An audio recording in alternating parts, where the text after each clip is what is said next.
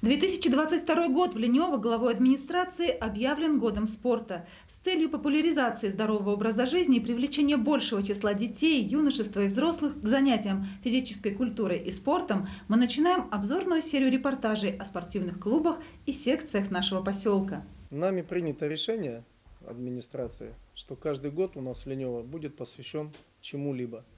Э, и первый год, вот 22 мы начинаем, э, как говорится, серию, да, мы посвящаем этот год спорту.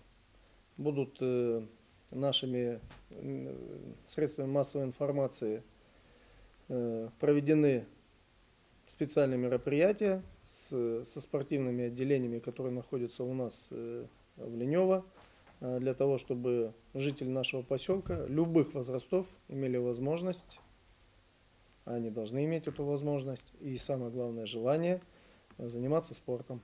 Спорт – это наше все. Коренной житель Ленева Михаил Щербаков в свое время пробовал свои силы в разных видах спорта. Ближе по духу и характеру оказалась борьба. Вы знаете, я сначала на лыжи пошел, потом начал с карате совмещать. А, тренировался вот у Глущенко. То есть как бы совмещал карате с лыжами, а потом попал вот на рукопашный бой пришел к Александру Ивановичу и начал уже там э, совмещать карате с рукопашным боем, потом с карате ушел, начал совмещать карате, рукопашный бой здесь в Ленево, потом начал ездить уже в город, там, ну, в городе уже заниматься. Ну, просто понравилось, потому что у нас, э, если мы возьмем какой-то соревновательный уровень, да, то есть у нас, допустим, если в боксе там есть только руки, да, работают только руками, там в карате работают руками, ногами, то есть у нас такой-то вид, вид единоборств, как бы универсальный. То есть мы можем и руками работать, и ногами работать, и бороться можем. То есть более такой обширный вид спорта. То есть как бы только этим, наверное, и привлек. С тренерами по жизни везло и своим упорством добился высоких результатов. Теперь сам воспитывает чемпионов. На то время пришел к начальнику учреждения СИЗО, тогда Новиков Игорь Алексеевич был. Как бы он поддержал, мы спустились, посмотрели зал. То есть, ну здесь, конечно, ничего не было как бы сделали ремонт своими силами, ну и начали потихоньку набирать. То есть сначала набрали подростков, а потом уже, когда я поступил э, в педагогический университет, уже в 2015 году, с сентября, уже набрали малышей. Сегодня Михаил Петрович – ведущий тренер клуба смешанных единоборств, под руководством которого тренируются две группы по 20 человек. В группе ОФП малыши 4, 5 и 6 лет подготавливаются к единоборствам. Второй состав сборной команды разновозрастной от 7 до 17 лет. Э, то есть у нас сборная команда сформирована как, то есть если спортсмен а, хорошо занимается где-то во вторых составах, в начальной группе подготовки, да, то есть мы его вывозим на соревнования. То есть есть правило, да, то есть если он на трех турнирах подряд занимает первое место, то мы его переводим пробно пробовать в сборную команду. То есть, ну и там уже, уже потом смотрим, остается он или не остается. Ну, на данный момент, они, если мы возьмем по возрасту, то у них у всех идет ну, вот высшее присвоение, да. То есть, допустим, если там 12 лет, там высший разряд какой можно, там первый юношеский, третий спортивный можно получить, если ты там на всероссийских соревнованиях выиграл, у тебя было много человек в весе. То есть у нас вот неминущих Никита, мы вот недавно с Орла вернулись с всероссийских соревнований. У него 20 человек в весе было, он первое место занял, то есть как бы выполнил третий спортивный разряд. То есть третий взрослый уже спортивный разряд, хотя ему 13 лет еще. Сестра его, Дарья Неминущих, тоже а, вот сейчас мы на Челябинск готовимся, 2 февраля уезжаем на Челябинск на всероссийские соревнования. Она получила первый спортивный, и вот если бы не травмировалась, там вчера руку она у нас сломала, то уже бы кандидата выполнила.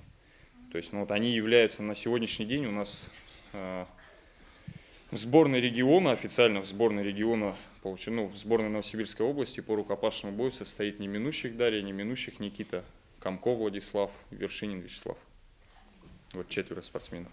Вместе с Михаилом Щербаковым в Ленево работает еще один тренер – Крупский Дмитрий Евгеньевич. Под его руководством занимается начальная группа подготовки и смешанная группа с 12 до 18 лет. А Михаил Петрович под свое крыло взял еще порядка 15 спортсменов от 6 до 14 лет в Гусельниково и столько же в Медведске. Дисциплина и порядок – обязательные спутники борцов и на тренировках, и на соревнованиях, и в жизни. Свою силу и характер они проявляют в спаррингах, на татами. Уличные драки – это не про них. Ну, я не разрешаю, не знаю, как бы, я думаю, нет, как бы, у меня с этим строго, они меня, ну, как бы, так уважают, я думаю, они такого не допустят. Если только в качестве самообороны, естественно, мы говорим, себя в обиду они не дадут, но я думаю, их и не так просто-то, и чтобы обидели их. Даже пятилетние воспитанники Михаила осознают, борьба – это не баловство, а очень серьезное, ответственное занятие. Безусловно, вид спорта. То есть есть дети, там, которые сейчас здесь присутствуют, которые ко мне пришли еще, там, их привели, они еще в садик ходили. То есть есть такие здесь воспитанники, которые 7 лет у меня уже занимаются, которые уже сами подходят к выполнению норм ЕВСК, то есть когда уже начинают выполняться, разряды присваивать, отбираться там в область, СФУ, округ, Россия, там, ну и дальше. Мы ставим цели какие-то, то есть я с ними разговариваю, есть какая-то цель, да, допустим, некоторые воспитанники у меня там пока что на сегодняшний день там себе придумали, хочу стать чемпионом мира. Ну, ты себе придумал, давай идти. Когда станешь чемпионом мира, тогда уже поговорим, чего ты дальше будешь хотеть, насколько там тебе может кто-то тренировать. У меня уже два воспитанника моих тренируют, то есть уже которые ну, подросли уже. И ставить цели и добиваться результатов ребята вполне умеют. Я начал заниматься в пять лет, и я давно хотел стать э, спортсменом и чемпионом, э, чтобы в дальнейшем э, взять мастер спорта и стать тренером. Э, рукопашный бой, потому что это в рукопашном бою можно делать очень много всяких движений и бороться, руки, ноги.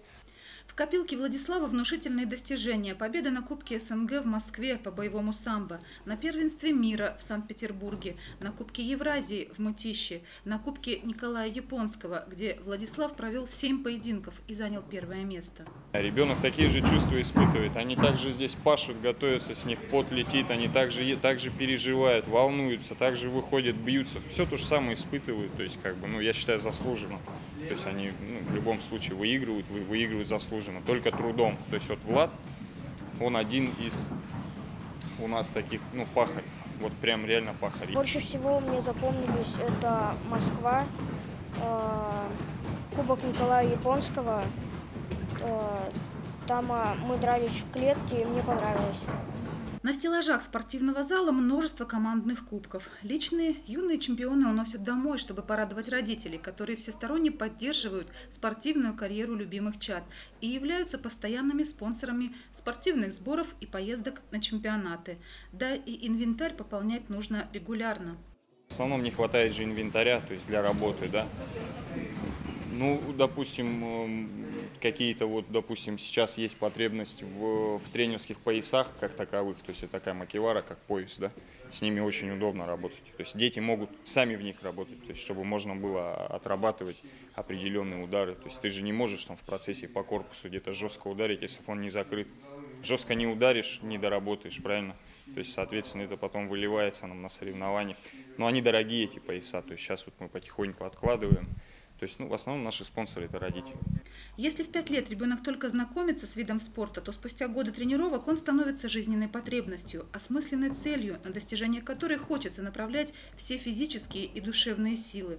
А мудрый наставник подскажет, как взойти на вершину пьедестала. А, Михаил Петрович – это тренер, очень сильный, мужественный человек, который сможет э, или защитить команду в какой-то беде, сможет поддержать, может придумать план э, на поединок. Э, очень добрый и хороший тренер.